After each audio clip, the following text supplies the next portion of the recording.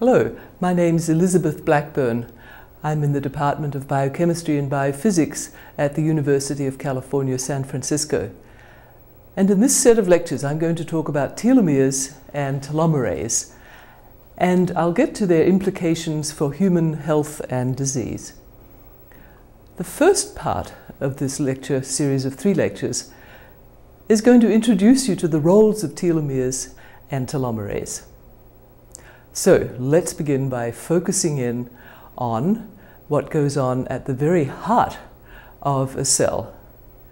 Now, if you looked at a cell which is just about to divide, and you looked under the microscope and you'd stained the chromosomes, this is what you would see. Those blue double sausage-like objects that you can see all over this, uh, this microscope slide are the human chromosomes, and the DNA is just duplicated, which is why they look double.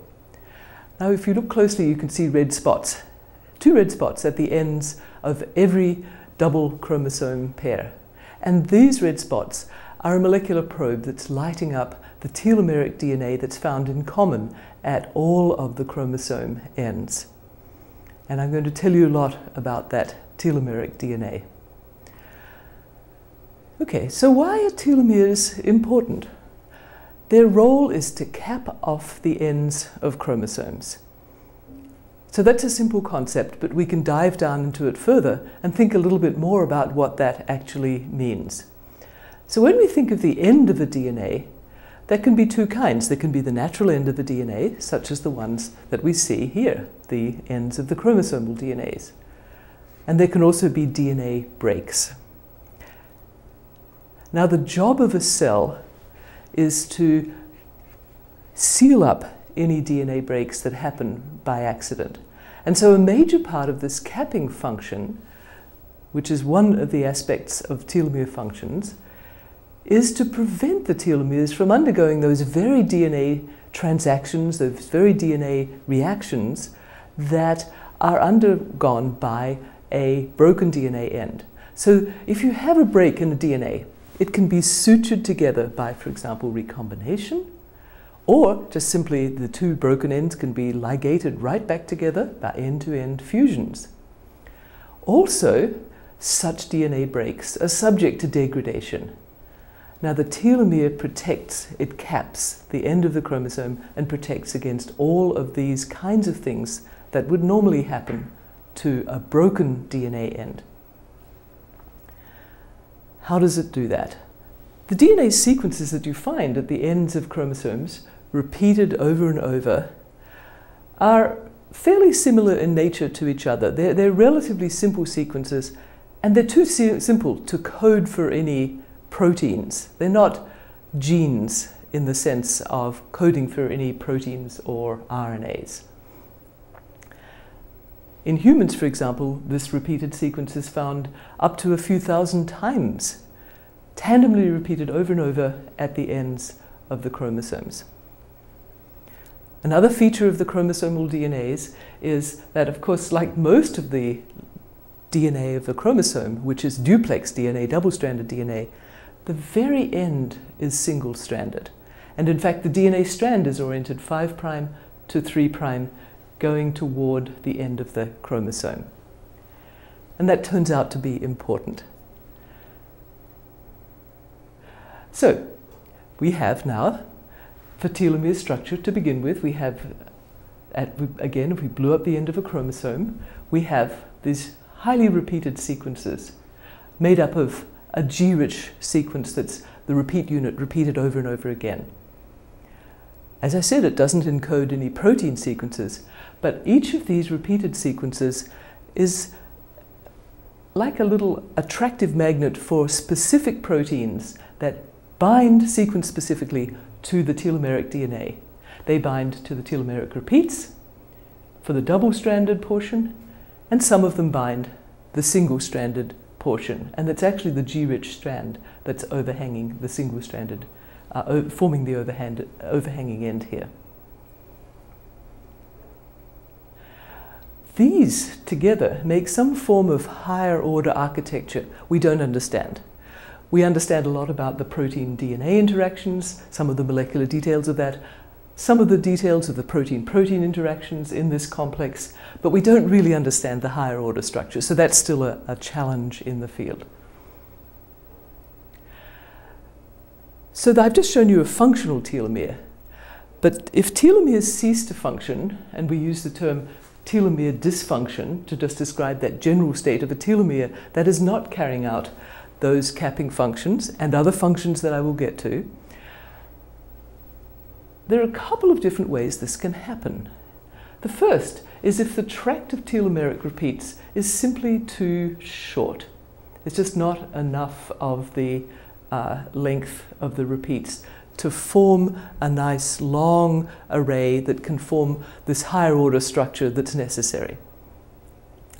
This kind of dysfunction caused by the shortening of a telomere, that can happen naturally, and it does, and we'll get back to that in a moment because this is going to be an important part of these lectures, and in fact, it'll be really the focus of the third lecture in this series.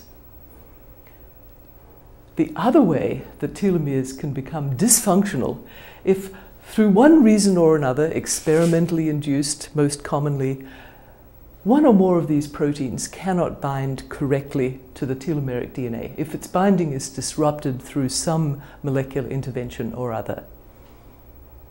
In both cases, cells sense and respond to this state of telomere dysfunction.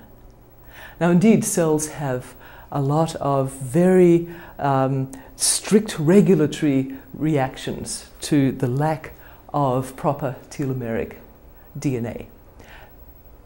And the consequences for the cell is that usually this state of a cell, uh, cell's telomeres, telomere dysfunction through one reason or another, will mean that the cell will cease to divide. So this limits cell renewal capability if this happens to one or more of its telomeres in the cell. If by chance the cell does continue to multiply, now those telomeres become subject to the very kinds of fusions, the DNA joining events that I told you telomeres shouldn't allow to happen. And that can lead to genomic instability because the end to end joining of telomeres to themselves, other telomeres that is, or to broken DNAs, that can cause the chromosomes which fuse to each other to tear themselves apart as the cells divide, leading to genomic instability. So clearly, telomere function is very important for cells. And in fact, one of the consequences of genomic instability in human cells is that the cells can become cancerous. I'm just going to show you a picture. If you look under the microscope, of some cells in which we've disrupted one of the telomeric proteins. What you can see is, remember I told you the blue double uh, things are the chromosomal DNAs. And look, here's a chromosome here in which there's been a telomere fusion. Here's the two telomeres at the end, here's the other two all the way here, but there are fused telomeres here. So this is now a chromosome that has two centromeres. It's got a centromere here it's got a centromere here, and if those two centromeres try to pull apart in a cell that is dividing, the chromosome will get ripped apart. Here's another example of such an end-to-end fused chromosome. This kind of change can happen if you disrupt the telomeric integrity by, for example, disrupting the binding of proteins. The other kind of function, it's related, but we can distinguish it. The other kind of function of telomeres is that they have to allow for the complete replication of the telomeric DNA. So what's the issue here? Well, the mechanism of DNA replication, the machinery of DNA replication, has a particular quirk to it. It's very good at faithfully copying almost all the way along the length of the chromosomal DNA or any linear DNA. But the makeup of the DNA replication machinery is such that it cannot copy the very, very end of the linear DNA, such as a eukaryotic chromosomal DNA. Now, the predicted and observed consequence of that inability is that each time the DNA replicates, which it has to do as the cell divides, and then the cell divides, the daughter DNAs are predicted to become shorter and shorter and shorter.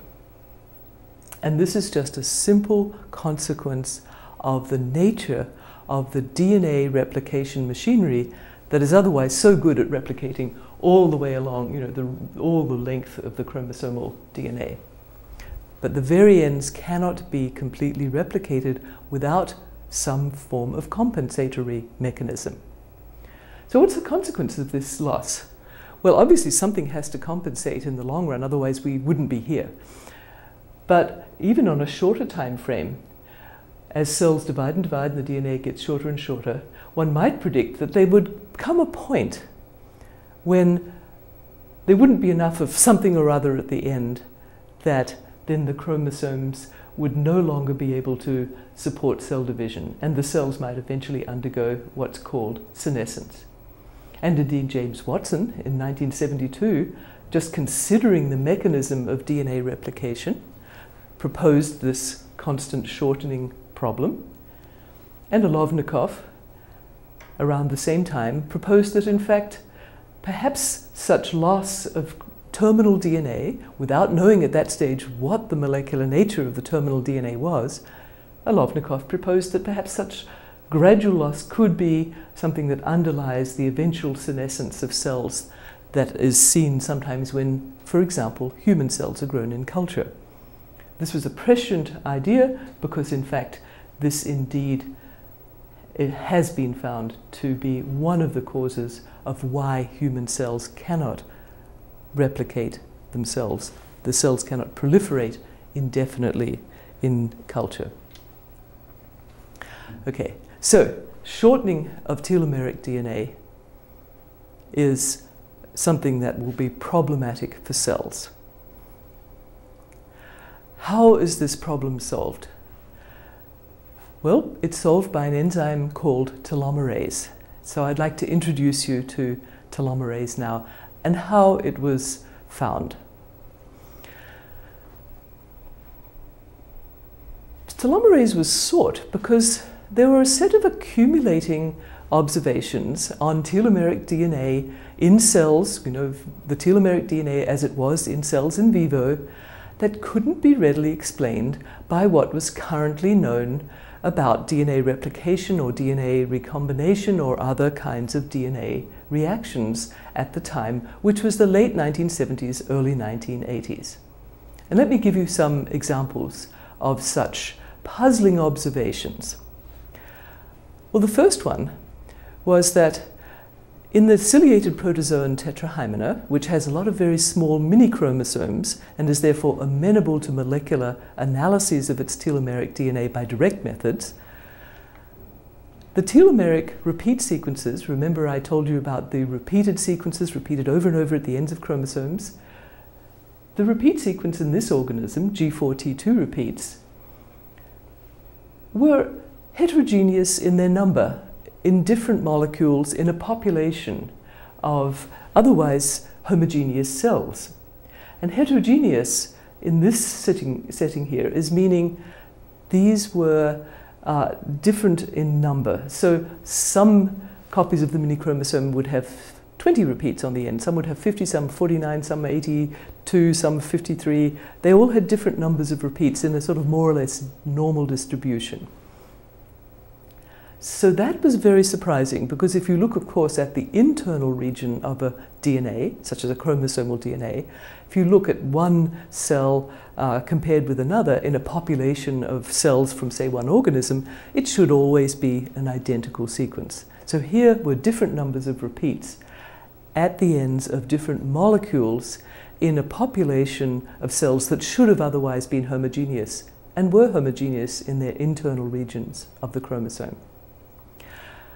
Now, a second kind of observation was uh, a somewhat more complicated one, And it means that I have to tell you, uh, just take a moment to tell you about the life cycle of a particular group of ciliated protozoans, which uh, the species Tetrahymena, in which these G4T2 repeats tracts were found to be the telomeric tracts. The Tetrahymena um, cells go through a life cycle stage where they have a somatic nucleus which undergoes developmentally controlled fragmentation. And fascinatingly, telomeric DNA sequences were added directly to those freshly formed DNA ends, making from longer chromosomes a series of shorter mini chromosomes. How did that telomeric DNA get added to the ends? It wasn't clear. The third observation came from observing the cells of an organism which causes sleeping sickness, a single celled parasitic organism called a trypanosome, and these were being propagated in the laboratory setting.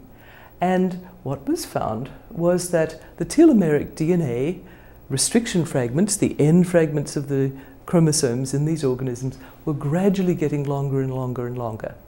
And this didn't look like, say, recombination, and was certainly not expected for normal, as one thought about it, DNA replication. The fourth observation was, again, something that came out of an experiment that I'll have to explain.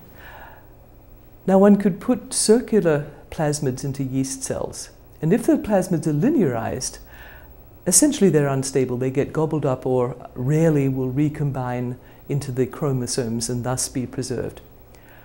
But what was found was that if one simply grafted onto the ends of such a linearized and therefore normally very unstable yeast plasmid, if one grafted onto its ends tetrahymena telomeric DNA fragments, the telomeres of tetrahymena mini chromosomes, and introduced those into cells. So the grafting was done in vitro with enzymes and the purified DNA molecules, and then the resulting hybrid of the yeast linearized plasmid and the telomeres added onto its end, that was introduced into yeast cells. These were maintained in yeast cells as linear mini chromosomes, and yeast telomeric DNA repeats were grafted on somehow inside the yeast cells to the ends of the tetrahymena telomeric repeats. And that didn't look like a reaction one would expect from standard known models of DNA replication or recombination. All of these suggested that perhaps there was some capability of cells to add telomeres.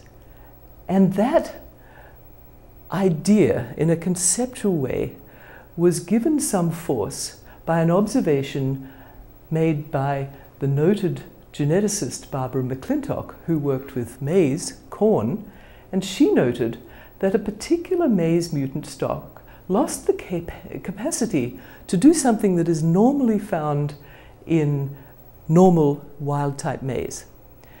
In such wild type maize, if a chromosome is broken by, for example, X irradiation or some mechanical rupture, at a particular stage in development, then that broken end can be, as she described it, healed. It becomes a normal, stable telomere. Nobody knew the molecular basis of that. And she found a mutant that had lost that capacity.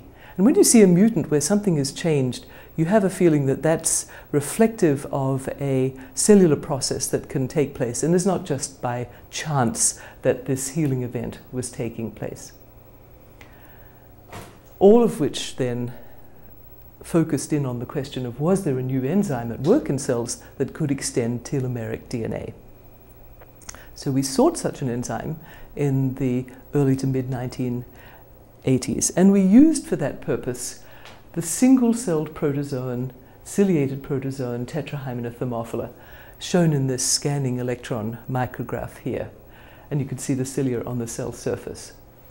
This experimental system was chosen because the organism contains large numbers of very short mini chromosomes, therefore large numbers of telomeres, and therefore one would reason perhaps if there were such an enzyme that existed that could add telomeric DNA to the ends of chromosomes or to pre-existing telomeres, then this would be a potentially good source for it because there's a lot of telomeres in this organism. And indeed, that proved to be the case. And Carol Greider, my then graduate student, uh, joined the lab in 1984, and here's a picture of Carol freshly from visiting Southern California and uh, looking at um, an autoradiogram uh, shown with this X-ray film here in the lab. And we together found this uh, enzyme telomerase. Now let me show you briefly what we did. We took a mimic of that overhanging G-rich strand DNA that's normally found at the ends of chromosomes in the form of an oligonucleotide. And here it is shown here. And I've just colored the different bases, different colors, so that we can see them easily. and here's its 3' hydroxyl end. We mixed it with an extract of tetrahymena cells, and this worked particularly well at the stage in development that I mentioned to you earlier, that stage at which telomeric DNA is added to freshly broken ends of chromosomes. We re reasoned that that would be a particularly good time to find such an activity thinking it might be likely to be induced or present in perhaps larger than normal amounts because this would be a time when there'd be a demand for such an enzyme. All of this was hypothetical at the time, but by putting in an appropriate mix of things that are often added to uh, make um, polymerases happy, such as magnesium ion, and just by using two nucleoside triphosphate precursors, DGTP and TTP, we were able to find that the telomeric DNA indeed was added to the end of such an oligonucleotide. In fact, in, this, in the test tube, a large number of repeats could be added. Okay, so we get a lot of, a lot of uh, repeats added, although eventually something limits the addition.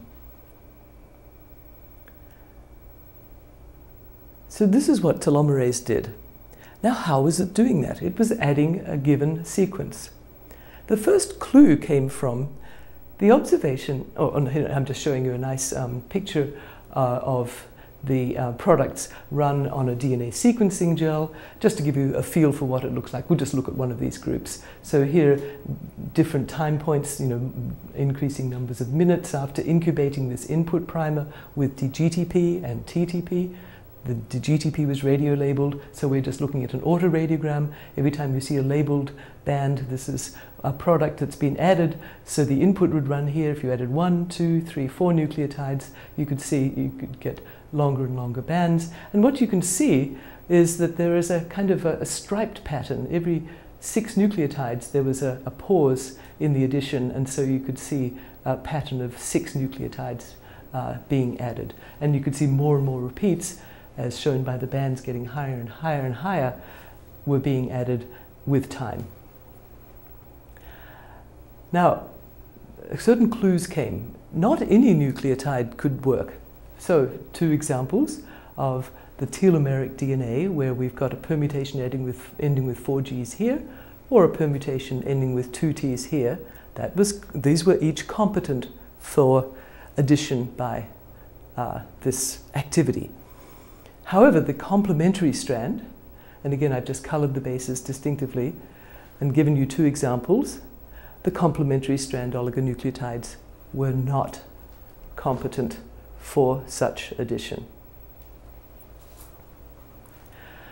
Another interesting clue came when we looked in more detail at different oligonucleotides that could add, uh, could act as primers. Now we had found as I said to you, that when you put tetrahymena telomeric repeats into yeast cells, live cells, then yeast repeats were added somehow, it was unknown then, to the tetrahymena telomeres. And the yeast repeats have a different sequence, and I've shown you a little segment of it. It's T, G, uh, you know, sometimes 1G, sometimes 2, sometimes 3 Gs. So we wondered if the converse would be the case, if we added a yeast primer to a tetrahymena extract, now in vitro, would we see tetrahymena sequences added to the yeast telomeric oligonucleotide? And indeed, we did see such addition. And again, large numbers of repeats could be added to such a primer quite efficiently. Now we also noticed another interesting thing about the reaction. When we had a primer that ended with four Gs, what we found was that first two Ts were added, and then four Gs, two Ts, and so on.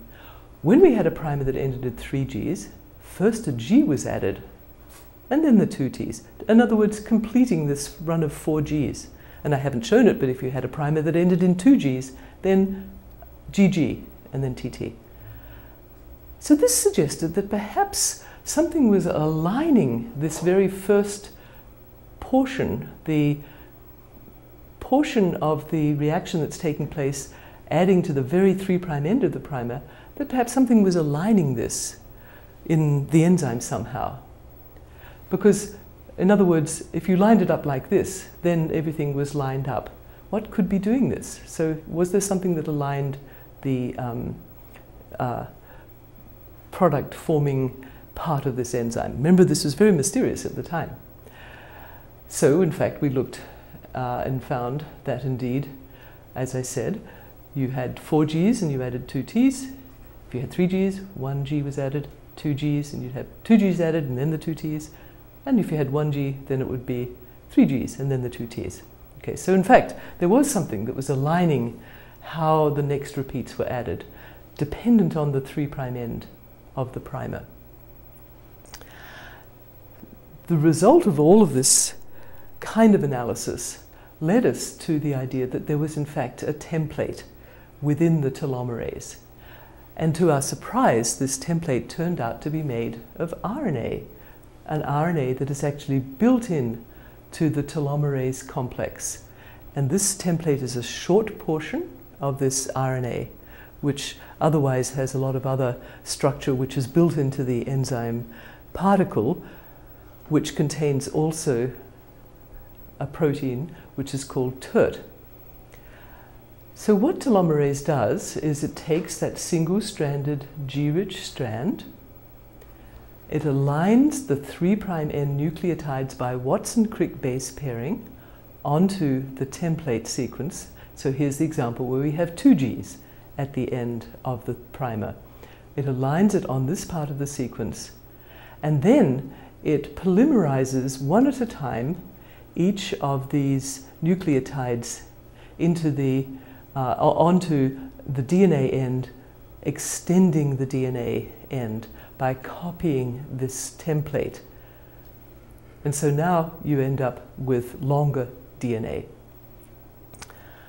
So telomerase is a unique polymerase. It's a reverse transcriptase by the definition that it copies RNA into DNA. It's unique because the RNA component is actually intrinsically built into the telomerase ribonucleoprotein particle. Uh, it has to be built in for that templating to take place. And indeed, the enzyme is truly a ribonucleoprotein enzyme, we believe. And unlike, for example, the reverse transcriptases that copy, say, the HIV viral genome, which is a genome thousands of nucleotides long, a very complicated sequence which encodes proteins, this enzyme copies very short sequences over and over again.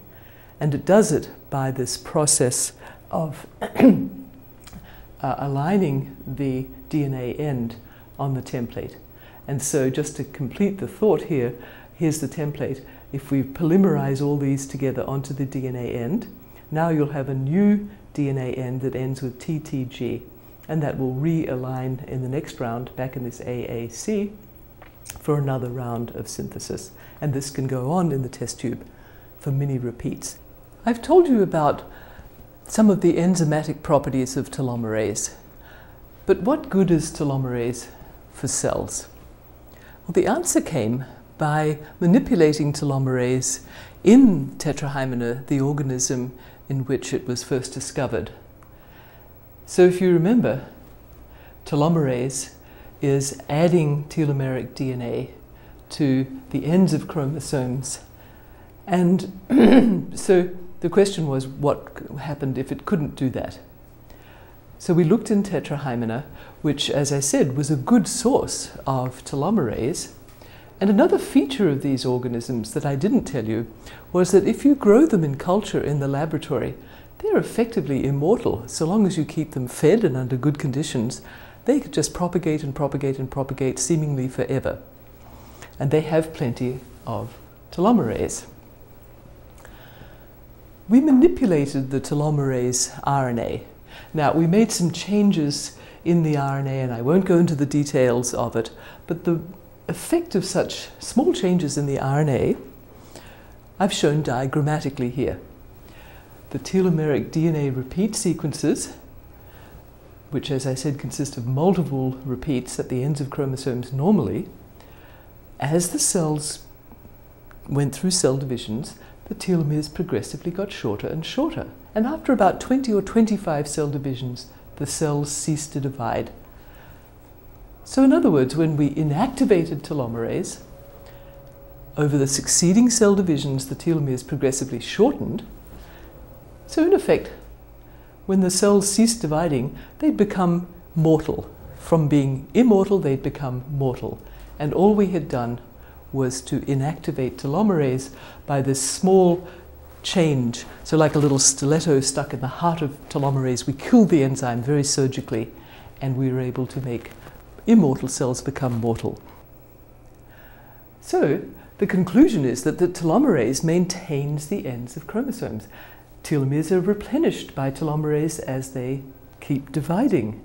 And in fact, that continuing replenishment even in the face of the continuing shortening processes that take place, can compensate for those shortening processes and allow the cells to keep on dividing. So that's what telomerase does for cells.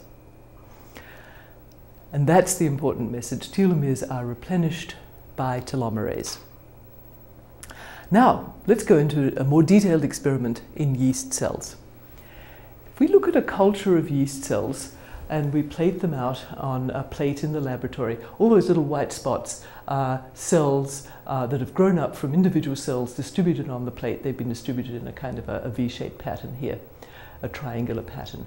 Okay, so the cells are growing well normally. Now, if we delete one of the genes for telomerase, either the RNA structural gene or the protein structural gene for the core of the enzyme, now, just as I described for you in Tetrahymena, the cells divide and divide, and the telomeres progressively get shorter and shorter until they get to a point where most of the cells completely cease to divide.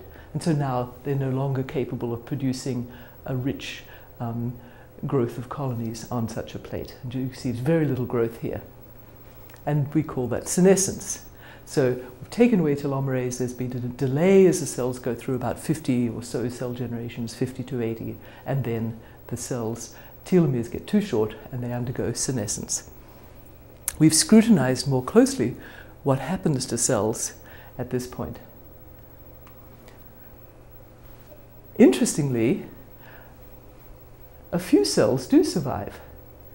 And in fact, those cells eventually become quite capable of producing good growth on a plate. But they're different. These cells now have very heterogeneous and long telomeres. I'll show you these in a, um, a, more graphical form in a moment. A gene required for this to happen, for such survivors as we call them, to appear, is the gene RAD52 for at least one of these pathways, the RAD50 gene is also required. What are RAD52 and RAD50? These are in the homologous recombination pathway. They're needed for recombination and therefore to get survivors required recombination. Similar phenomena have been seen in mammalian cells. They have been less well characterized genetically but similar survivor cells have been seen, and they're called alt cells in mammals for alternative lengthening of telomeres, alt cells. So Without telomerase, most cells go through senescence, but rare cells can survive. So that is another way that chromosomes can survive. But interestingly enough, ALT is not normally seen in most normal cells. Now we wondered why, because on the face of it, it looks as though these cells are growing perfectly well. Although if you look more closely, you will see that some of the cells are not living well, but the great majority can survive with these very long telomeres that they can keep recombining and keep the population up that way. We asked what's different, okay? So first of all, we quantified very carefully the um, cell growth. So this is just one way of showing it. The colony forming units, which is a measure of viability, as the cells went through the progression of shortening telomeres, getting to this point where they get to senescence, and then those rare survivors now overgrew and now you could see them taking over and becoming the population. So they're growing again quite well. And we looked at the gene expression profile in such cells. First of all, we looked at the telomeres, just to make sure that the telomeres were doing what I showed you diagrammatically before. Yes, they are. So here's the telomeres. And this is what's called a southern blot, where we're probing with a telomeric DNA sequence. And the most important are these bands down here. That's the easiest to look at initially, because this is a lot of the telomeres. You can see they're of a certain length. And then as they get shorter, they run faster and faster in the gel. So you can see they're getting shorter and shorter with these successive days of passaging of cell divisions without any telomerase present. Now, there are very few cells here, actually, but we loaded enough DNA so you can see what little telomeric DNA there is. And then the cells start growing well again. And what you see is now the telomeres, the pattern has changed. They're very heterogeneous and there's uh, much longer telomeres. You can see they're longer than these ones here. So that's the telomeric profile. Now let's look at the gene expression profile. This is what's called a microarray experiment. And in this experiment, one compares the pattern of gene expression by looking at the messenger RNA levels for all of the genes in the genome. And one asks, does a particular gene, compared with a reference, which is right at the beginning when everything is growing well, does a particular gene's level of expression become higher or lower? If it becomes lower, it gets greener and greener. And so each of these um, uh, going across, each of these is one gene.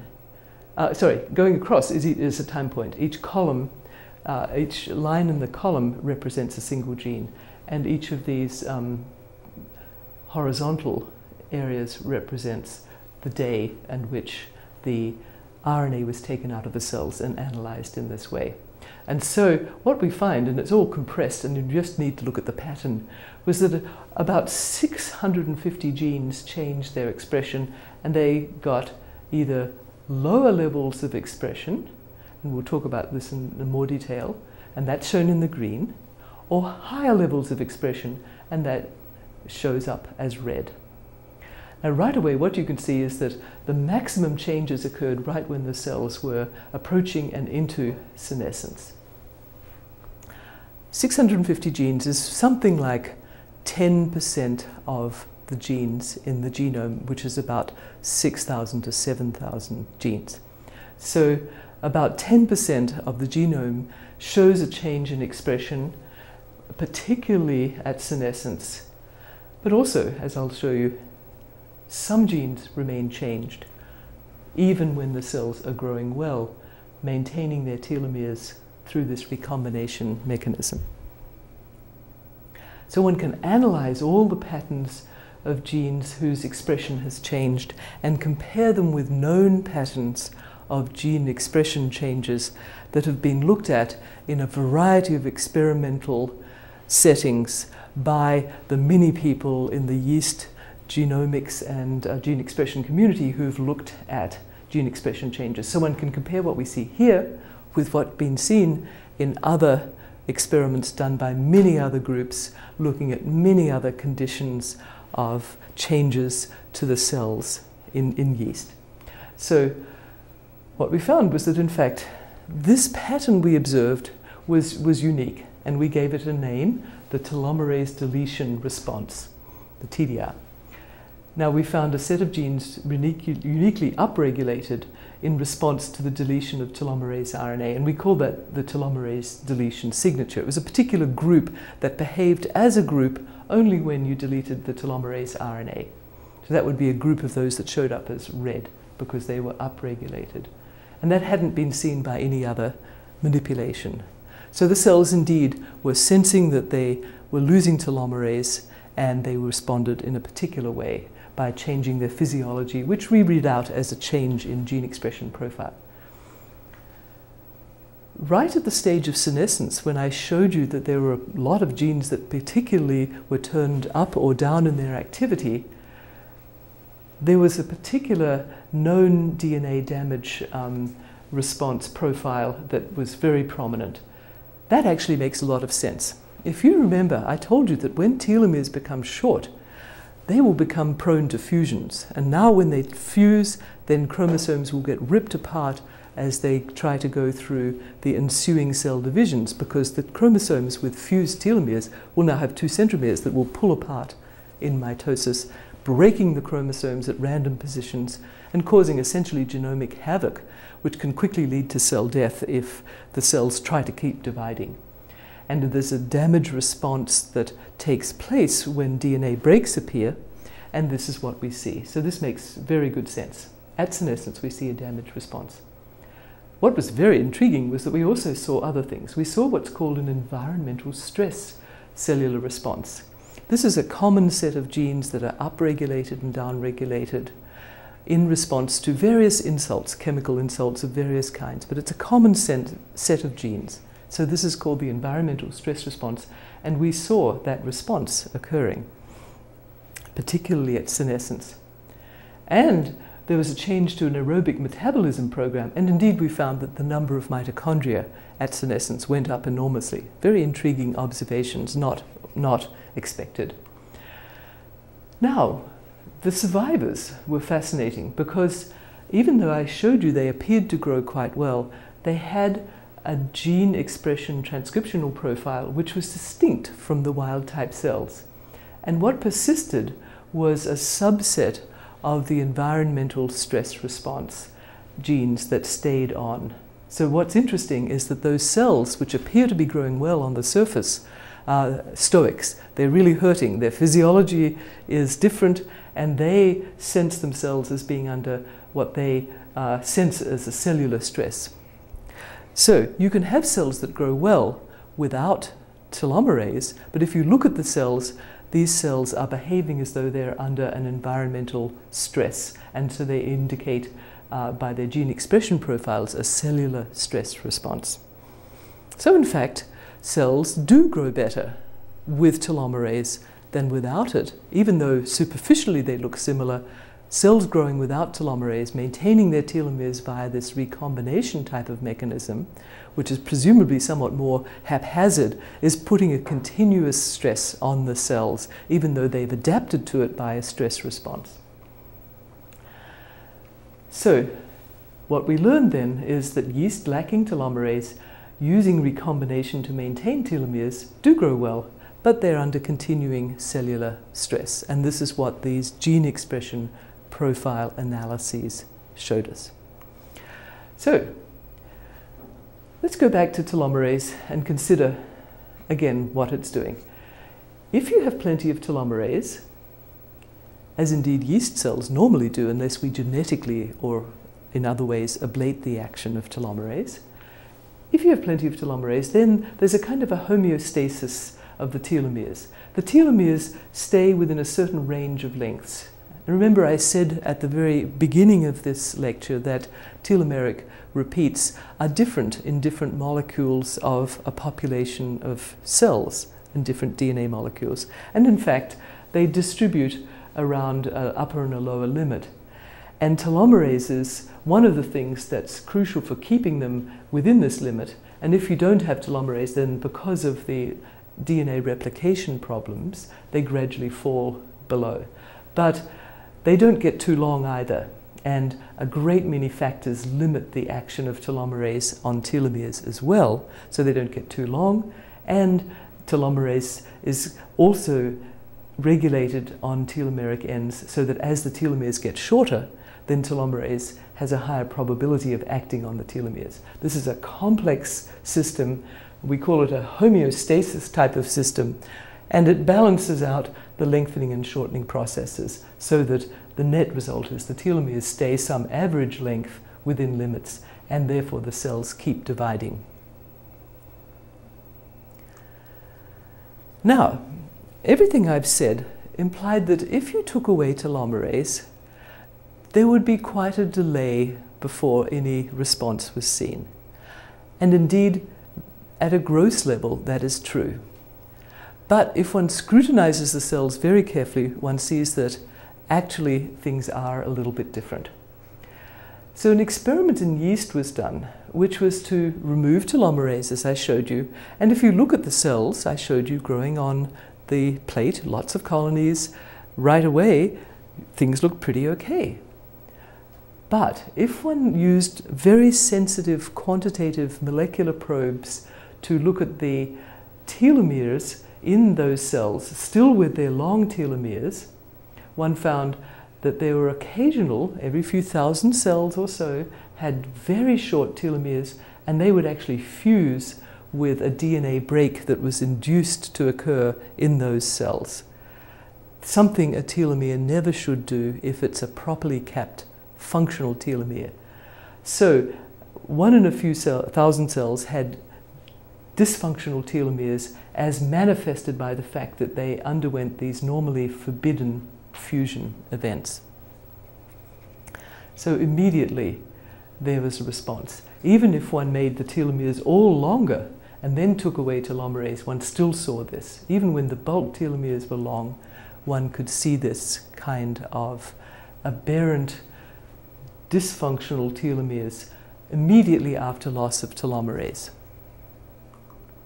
So this is one piece of evidence that telomerase actually is protecting the ends of telomeres. Even when they're plenty long enough, telomerase itself seems to protect and sit at the ends of telomeres, is one interpretation.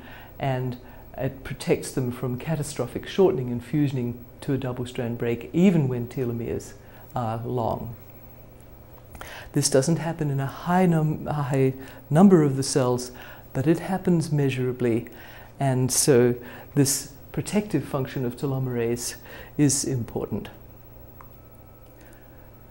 So I've introduced you to telomerase. I've shown you how it's important for the long-term growth of cells because it is necessary for continuous replenishment of telomeres. And I've introduced you to the first piece of experimental evidence that telomerase has a protective function in cells even when telomeres are long. So in the next lecture, we'll talk about telomerase uh, and more of its protective functions in different cellular settings.